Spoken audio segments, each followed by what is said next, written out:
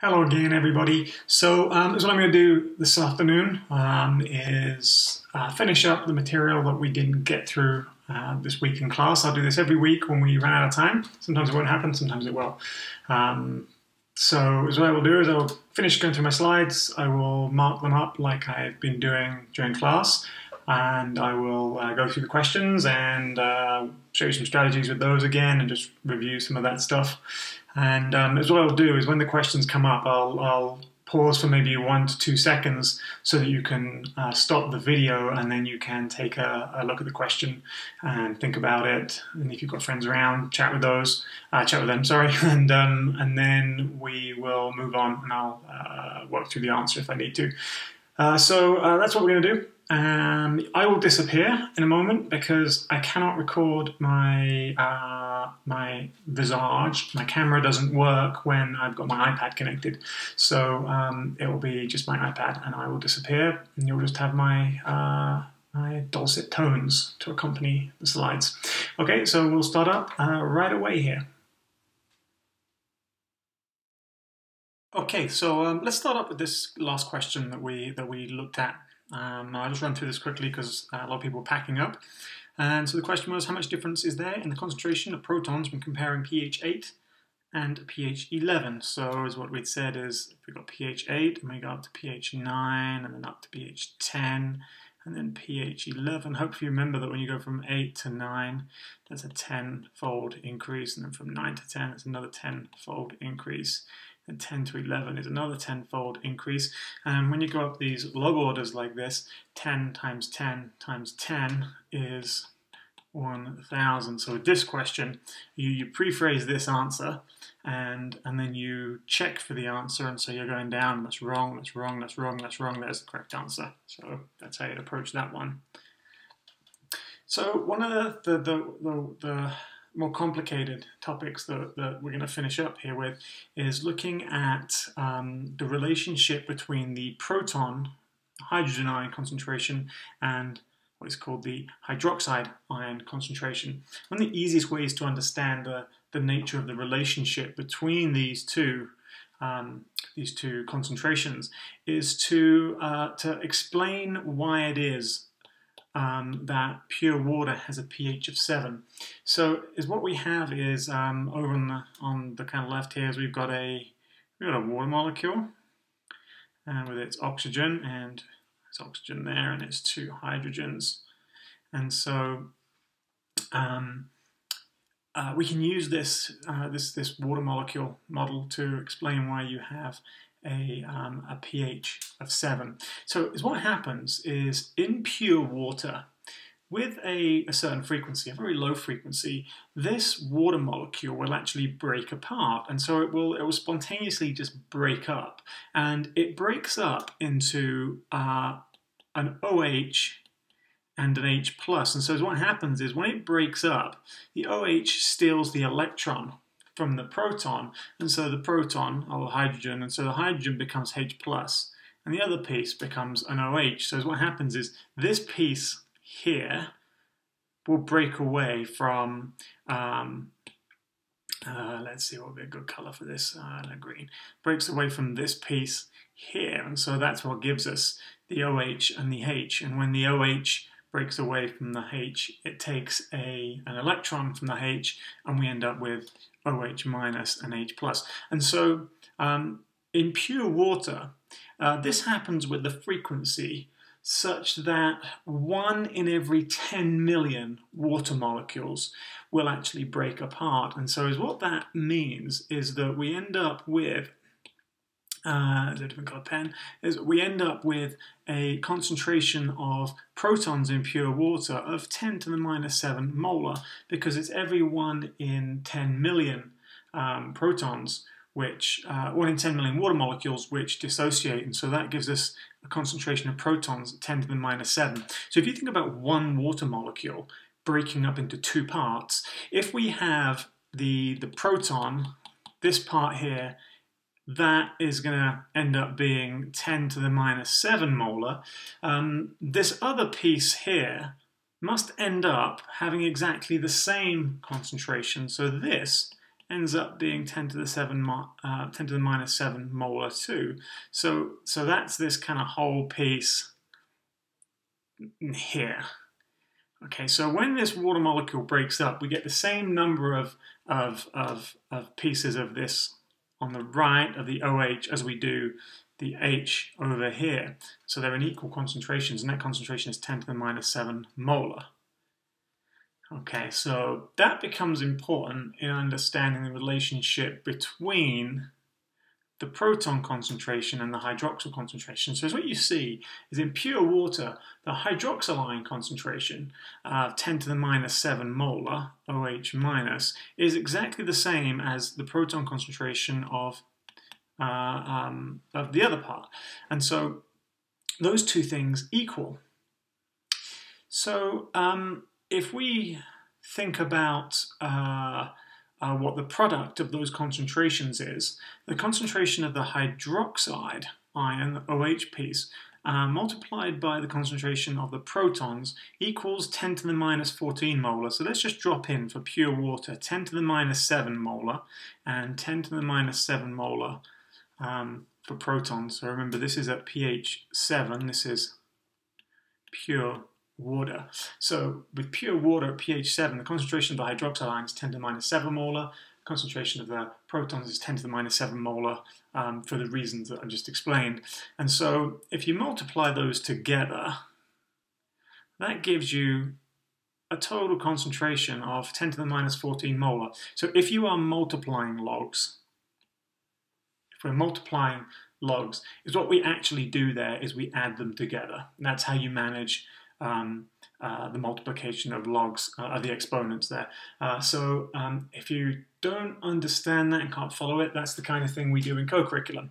So um, this establishes a rule for us that the concentration of the hydroxyl ions, hydroxide ions multiplied by the concentration of the protons equals 10 to the minus 14 molar. And that is true for every single pH. It, if we go to pH, if we go to pH 2, Let's see what happens at pH 2, for example. So at pH 2, the proton concentration, remember, will be 10 to the minus 2 molar. And if, you, if that doesn't make sense, go back to the, to the class lessons and, and, and, and review that. And so the concentration of the protons times the hydroxyl at any pH is always 10 to the minus 14 molar. So the question is, uh, what do I have to multiply 10 to the minus 2 by to get 10 to the minus 14. So some people will see this intuitively, and some people will, will not see it intuitively and have to do a mathematical rearrangement. So um, for, for some people, they will, they will just see this and they will say, well, um, if I've got to add these exponents together, then this must be 10 to the minus 12. 10 to the minus 12 times 10 to the minus 2 is 10 to the minus 14. And so just like we did up here, we're adding these two exponents together uh, to give us 10 to the minus 14.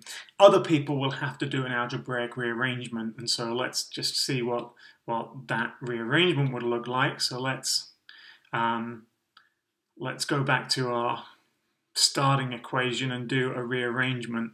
So um, if I wanted to try and calculate this here, so I'm trying to isolate that. Then is what I'm going to do is I'm going to divide both sides by the proton concentration. Okay, and that basically is going to eliminate that from there. And I've got to divide this side by the proton concentration too. So um, uh, remember what we just said is that we're looking for this question mark, which is the hydroxide ion concentration. We said that the proton concentration was 10 to the minus 2 molar, and we said that the always, always must equal 10 to the minus 14 molar. So if we do that rearrangement we just talked about, then we've got to divide 10 to the minus 14 by 10 to the minus 2. If you do that on your calculator, it's 10 to the minus 12, which gives you that answer there. So again, that's, that, that's simply the kind of algebraic rearrangement we talked about um, earlier in this earlier in the week when I just said, okay, if you have this kind of algebraic formula, you should be able to rearrange it. A lot of people nodded um, and were agreement that that's pretty easy. And so that is just the application of that rearrangement to to a to a um, biochemical problem. Um, so if if that doesn't make sense, then we can hit that in in co-curriculum. So is what this equation lets us do is um, is solve for hydroxyl ion concentration if we know what the proton concentration is. So that's that's really helpful. And the other thing it lets us do is it lets us uh, solve for the proton concentration if we know the hydroxyl ion concentration. And we can we can do that because this is always going to be 10 to the minus 14. So as long as you know one of the hydroxyl ion concentration or the proton concentration, you can solve for the single thing that you do not know. So let's just do uh, another one very quickly. Let's just say that, um, let's say that the, um, uh, let's say the hydroxyl ion concentration is 10 to the minus 9, and you want to know what the proton concentration is, and don't forget that equals 10 to the minus 14 molar. So all we're going to do is divide um, divide both sides here by 10 to the minus 9, so that then cancels that out and isolates the unknown. Divide this side by 10 to the minus 9. The units cancel out, obviously. And remember, when you're when you're multiplying logs, you divide. Uh, you multiplying logs, you add them together, or exponents, you add them together. And when you are dividing exponents, you subtract them. So uh, this is going to end up being 10 to the minus 5 molar. And remember, that is our unknown proton concentration. So then if I said to you, okay, um, uh, what is the pH? You would say, well, that's easy. The pH is is five. Okay, remember pH is the negative log of the proton concentration. So the pH is negative log of the proton concentration. And so if we plug in um, our proton concentration from down here, up here, is what we end up with is uh, the pH equals the negative log of, let's just substitute that in here, negative log of 10 to the minus 5 molar. And so the log of 10 to the minus 5, um, we end up with minus minus 5, which is the same as positive 5, which is a pH of 5. Okay, so you can go all the way from, from knowing the hydroxide ion concentration to telling me from that what the pH is. Okay, those are the kind of problems you're going to get on, on, on, on your quiz. So we can do all kinds of things at this point. We can we can calculate the, the, the, the, proton concentration from the pH, the pH from the proton concentration. We can calculate the concentration of protons if we are given the hydroxyl ion concentration. We can calculate the pH from the hydroxyl ion concentration as well. So again, uh, if you need some help with the algebra there, um, make sure you come and ask for help. We can we can help you figure this stuff out uh, as long as you come and talk to us. So let's kind of um, take a quick look at this question. I'll pause for a second or two to let you have a look at it. When I pause, I'd recommend that you stop the video so you can think about it. Okay, so let's read this through. Um, this is very much like the, the, the, the, one of the questions we had earlier. Uh, we've got this pit, the Berkeley pit again, and it's a disused copper mine. Uh, where is it? It's just outside Butte, Montana. And again, we've got this volume. So remember before, is what we said is um, is that you uh, you don't really need to know that. So eh, we can ignore all this. It doesn't contain any information that we need. But here is the pertinent information. It's a pH of 2. And you're being asked now, what is the hydroxyl ion concentration? So um, what do we need to know to get the hydroxyl ion concentration? Uh, if we're going to get back to the hydroxyl ion concentration, is what we need to start with is to find out what the proton concentration is. And so what we've got to do is ask ourselves, okay, if the pH equals 2, what does that mean for the proton concentration? And so remember that um, the proton concentration is, uh, is equal to 10 to the negative of the pH. Um, and some of you will have to use that formula. And uh, some of you will be perfectly able to just see that if the pH is 2, then the proton concentration equals 10 to the minus 2 molar. So once we've got that number, remember that's the proton concentration, is what we need to do then is work out the, the, the hydroxide ion concentration. And so for that, we have to go back to thinking about how the hydroxide ion concentration multiplied by the proton concentration equals 10 to the minus 14 molar.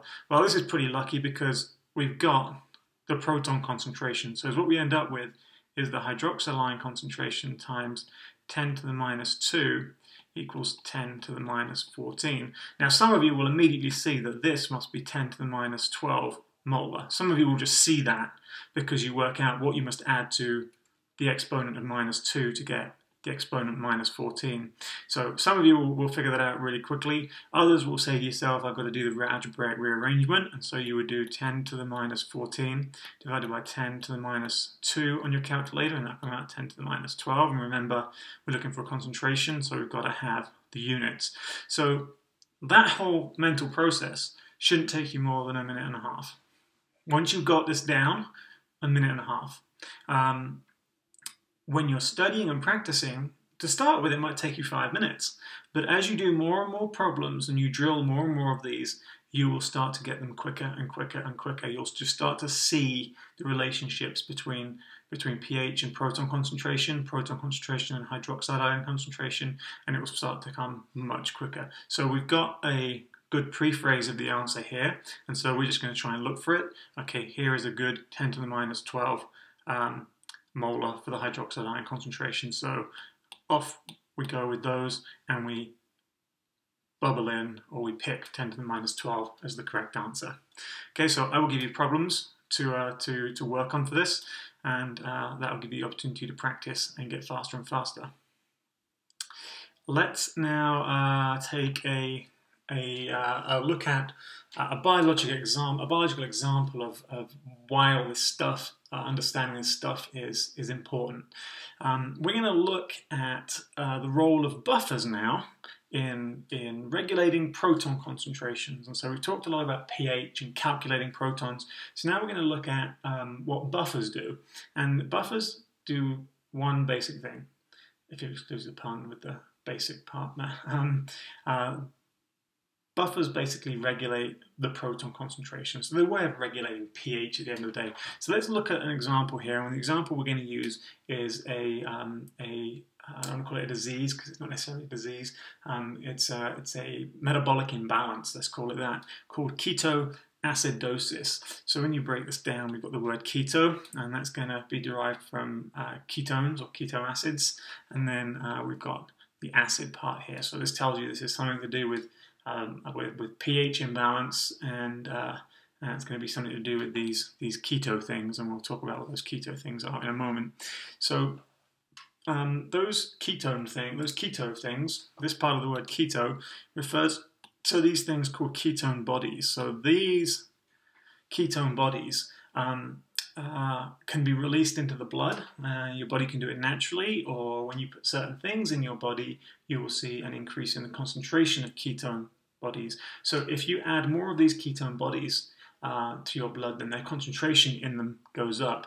And, um, and uh, these ketone bodies are acidic.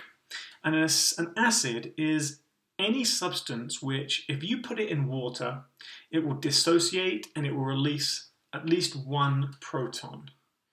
So um, if we look at, for example, hydrochloric acid, HCl, uh, if you put HCl into water, it will dissociate into a proton, H+, plus, and a chlorine ion, Cl-. minus.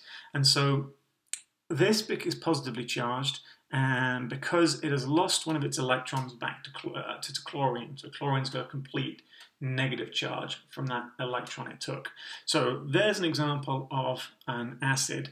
Um, so acids increase the proton concentration. So think, let's think about what that means for a moment. You always got to push this information back up against other information and ask yourself, okay, I can memorize that, but what does it actually mean? What is the meaning? What do I have to understand from this? So what is happening here? If, if, if these ketone bodies get uh, reach higher concentrations in the blood and they dissociate so that the proton concentration goes up.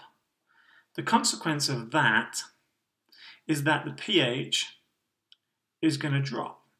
So if your blood pH is meant to be at 7.4 and we start dumping ketone bodies into the blood, then this number is going to drop because the proton concentration is going up. Remember that as proton concentration goes up, the pH we drop down the scale, we get to a lower number. So even if this only goes down from 7.4 to 7.1, you look at that and you say, well, that's not much. But but remember that if we go from uh, if we go from um, 8 down to 7, that's a tenfold change.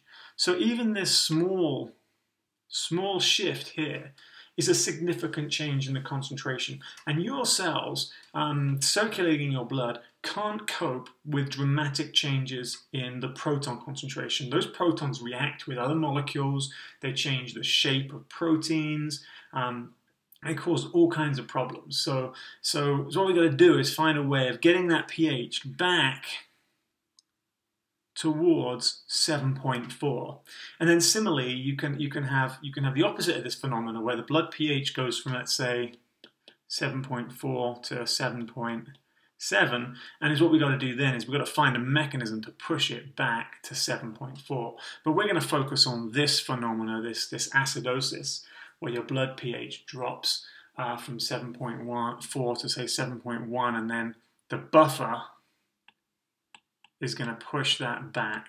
Okay, that's where the buffer is going to work here for us to push it back. So, um, so let's just kind of review that really, really quickly with a question. So as the ketone body concentration goes up, so, so what we're going to do is we're going to release ketone bodies into the blood. And so what happens there? Well, the ketone body is going to release protons. And so that means that the concentration of protons in the blood, remember the blood volume is not going to change. So we've got a certain, let's just say this is the amount of blood in your body. Obviously it's just a metaphor. That's the amount of blood in your body and it's got I know, this many protons in it to start with. And then we start dumping in those ketone bodies and they release many more protons. And so the pH is just doing what? As the proton concentration increases, well, the blood pH is going to drop. It's going to go down. So um, that's kind of the answer for the, for the kind of question given the context of what we're talking about. Now, what will actually happen is that is that after the blood pH drops, it's going to go back, and so your body's going to work to push it back to being the same. But the immediate effect on the blood is that the pH is going to drop. It's going to go from like 7.4 to 7.2, and then as soon as your body senses that shift, it's going to push it back up. But you don't want to think about this phenomena. If we think about, okay, if we think about this as, as pH, so this axis is pH, we think about this axis down here as time, if we think about what your blood pH is doing over time, it's not doing this. It's actually fluctuating around that as an average and so it's undergoing these small fluctuations. As the blood pH drops the buffer kicks in and pushes it back up again and if it goes a little bit too high the blood buffering system pushes back in and pushes it back down again. And so if we looked at this with very fine resolution is what we would see these these very very small fluctuations around a steady, stable state. Um, but there are these oscillations, as it were, very, very small. So the function of the blood buffering system is to restore pH. And so if we see the pH go from 7.4 and we see it drop down to 7.2, the blood buffering system is going to say, yeah, that's not good. Let's push it back up to 7.4. So is what you can start thinking about is, is how the blood buffering system might do that. So if we're going from 7.4 to 7.2 is what that means is the proton concentration is going up. Yeah.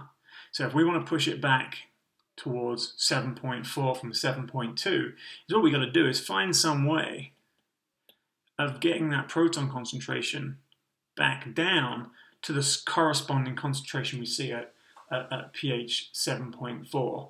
So that's what the blood buffering system has to do, and it works the same in reverse. So, uh, what we're saying here is that if the pH drops, that means that means if the pH goes from 7.4 down to 7.2, if the, if the pH drops because the proton concentration is increasing, then um, then the blood buffering system uh, kicks in, and and we see um, we see the, the, pH being pushed back up. Now, if the pH goes up, so let's say we've got the opposite problems from ketoacidosis and we go from 7.4 to 7.7, let's say, if we see the pH going up, then the blood buffering system is going to work to push us back down again. So 7.4 to 7.7, the proton concentration here is dropping, and so the blood buffering system working over here to push the pH back to 7.4 is going to try and have to get the concentration of the protons um,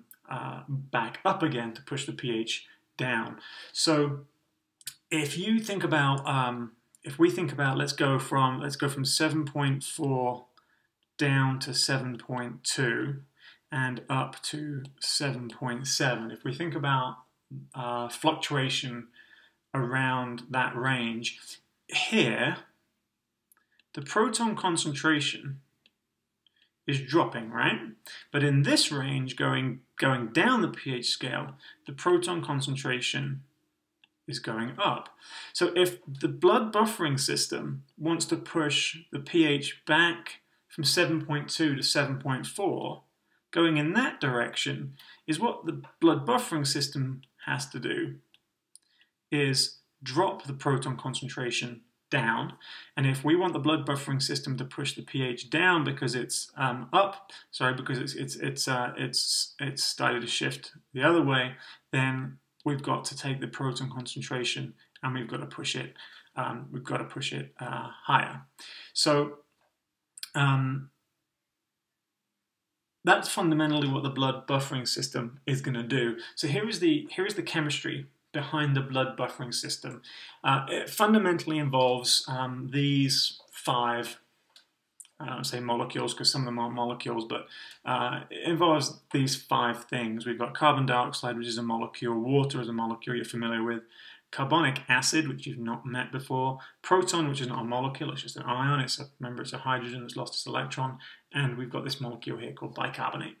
So um, what is happening in this system um, is basically revolving around this molecule here, which is called carbonic acid.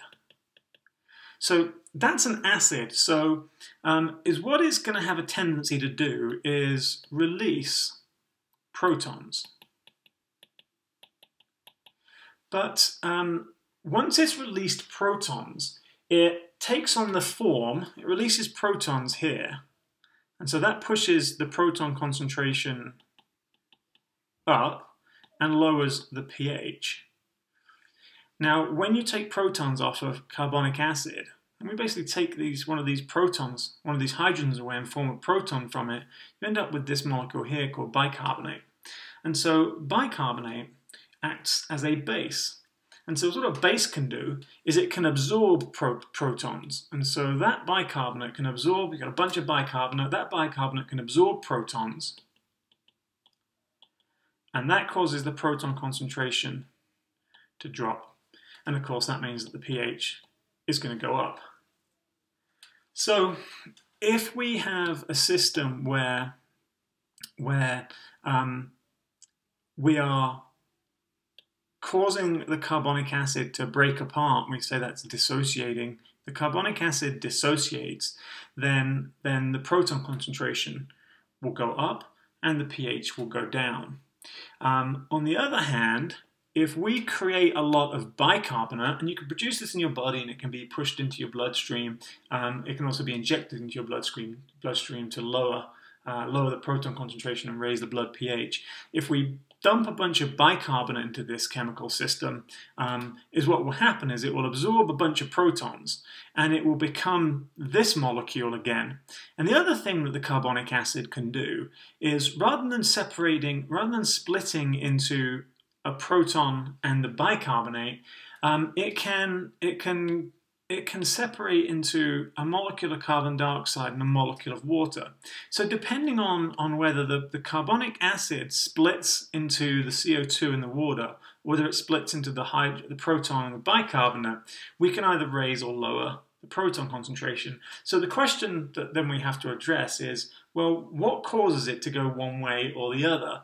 And so the answer to that question is, um, is basically the relative concentrations of the carbon dioxide and the water, and the relative concentration of the protons. And of course, the relative concentration of the protons is going to be, is going to be the determinant of pH.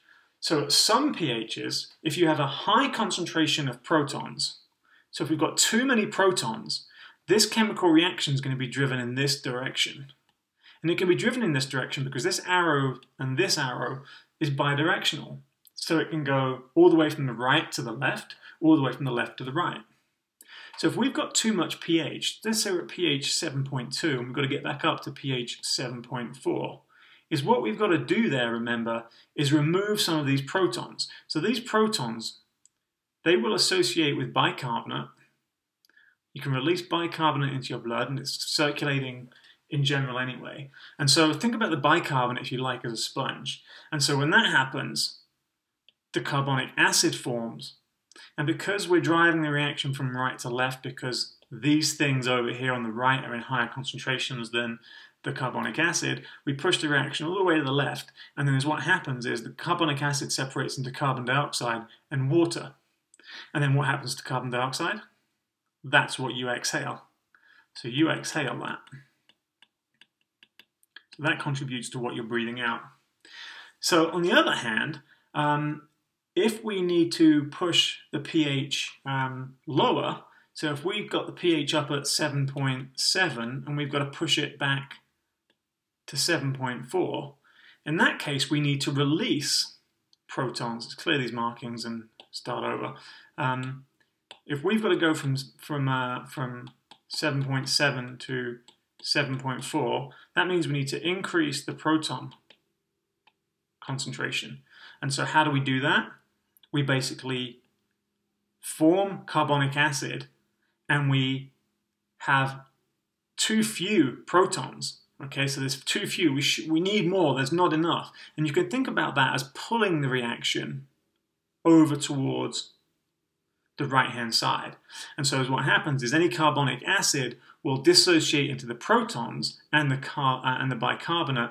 And so the protons then are going to uh, contribute to increasing the proton concentration and pushing the pH back down again. Now, if it starts to swing too much in the other way, what do you do? You release some bicarbonate into your bloodstream.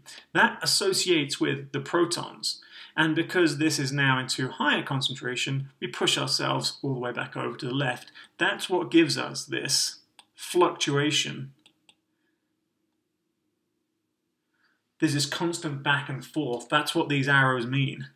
That means this reaction will go backwards and forwards and backwards and forwards um, until ideally it's at an equilibrium and I'm talking about a chemical equilibrium here, not really a homeostatic equilibrium. The equilibrium that it may reach may be um, favoring one side of the reaction or the other. So equilibrium, that doesn't mean that one side equals the other side.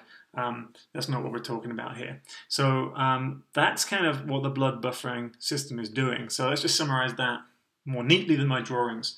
So if the pH is too low, we've got too much of the protons. And so the bicarbonate is released into the bloodstream and that concentration, this high concentration of these things drives the reaction to the left and the carbonic acid dissociates into carbon dioxide and water. That's the pH is too low, remember. That means we've got a high proton concentration. So then what about if the pH is too high? If the pH is too high, we don't have enough of the protons. And so in that case, the carbonic acid, which is just going to form from circulating carbon dioxide and water, is going to be dissociated. And that will release protons and some bicarbonate. And of course, then um, the proton concentration will go up and the pH will go down. This is very, very difficult to memorize, obviously. And so you really have to understand the principles here. And you can certainly memorize the equations, but if someone asks you to explain this, you can explain it in words, with diagrams, with the equations. Um, so that can be uh, a bit of a challenge. But that's the biological application of all this stuff that we're talking about. You notice we're talking about the language of, we are talking in the language of concentrations, of pH. Um, we could have the same concentration, the same discussion in terms of molarity. So here's another question. I'll pause for a second or two. Okay, so the situation is here. We've got an alcoholic admitted to the ER.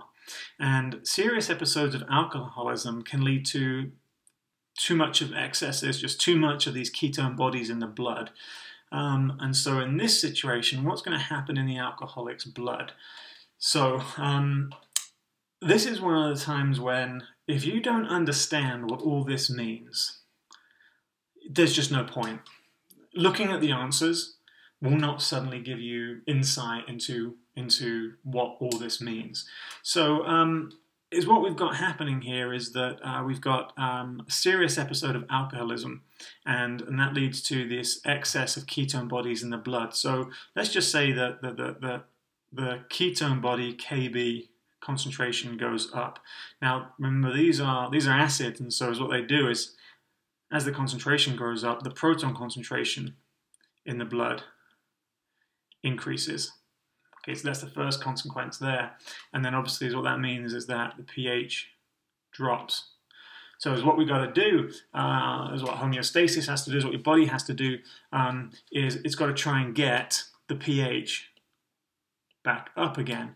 And so how are we're going to do that is what we've got to do therefore is we, we've got to remove protons. We've got to lower the concentration of protons to get the pH back up again.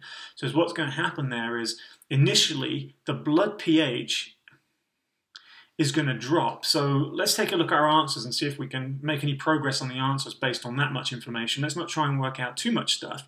Let's see if we can kind of eliminate some stuff, what we have. So the first thing that's going to happen is the blood pH is going to drop. So I've got blood pH will initially rise. So that's no good. So let's eliminate that one. And we've got blood pH will initially drop. So that that matches what we've got going on there. So that's a good thing. So let's keep B. Just put a squiggle, a little tick by it blood pH will initially drop, so that's that's the same thing. That's kind of that's good. That matches up. And so then we've got D, blood pH will initially rise. Well, again, that's the same as the first one, so so that one's got to go. So then a B and C. So okay, that's better. That's a one in two chance of guessing rather than one in four. So let's keep working out what's going on and uh, and then see um and see what what what happens when we when we keep keep going with this train of thought.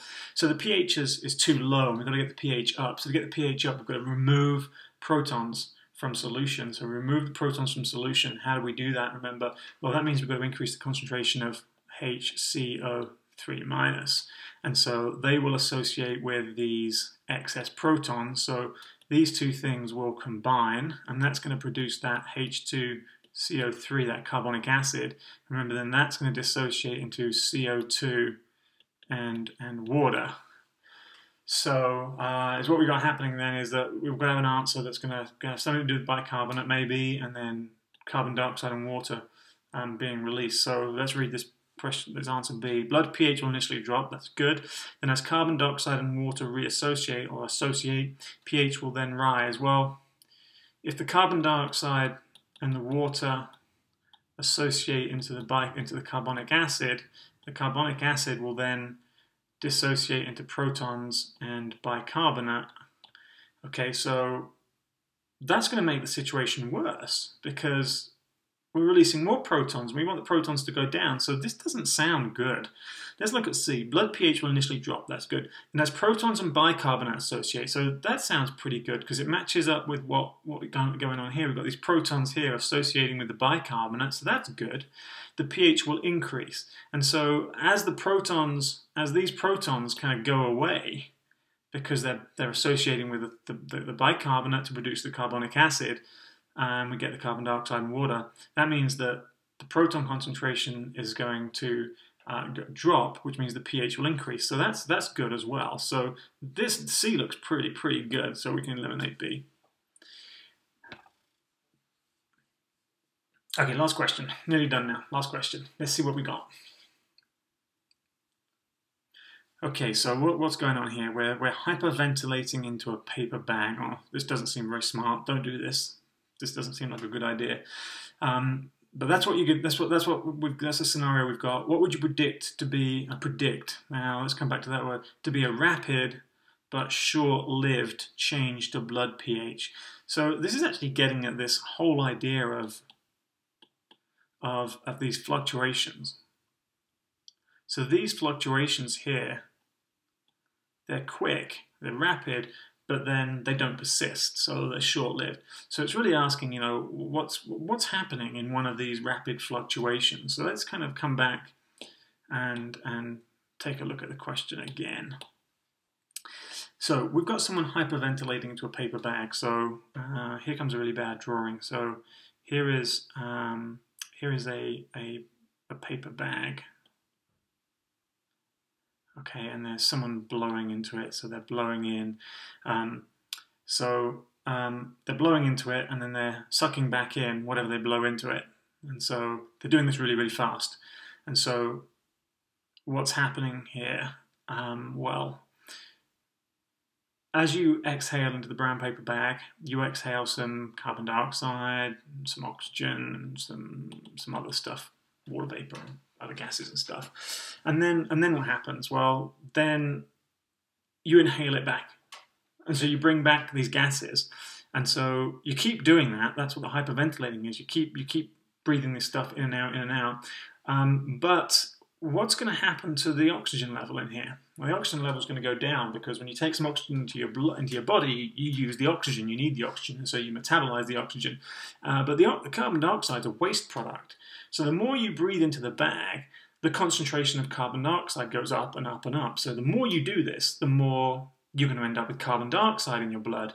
So that would, if you do this, is what happens is that the CO2 concentration in your blood goes way up. So what's going to happen to that whole blood buffering system if you just increase,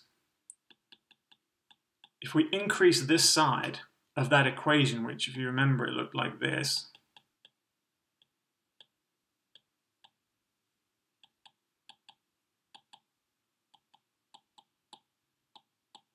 it looks something like that. So if we increase this side, then we're going to drive the reaction over to the right. Okay, so when you drive the concentration of this up, of the carbon dioxide up, that means that the CO2 is much more likely to react with the water because there's more carbon dioxide, higher concentration. Um, so that means that the carbonic acid forms, and then we keep driving it to the right, and the proton concentration increases because the carbonic acid is acting as an acid. And so the proton concentration goes up. So in this situation, the proton concentration in your blood is going to go up. So what that means is the pH is going to drop. So there again is our answer. What does it match? pH would increase? No. Okay, there we go. pH would decrease. Okay.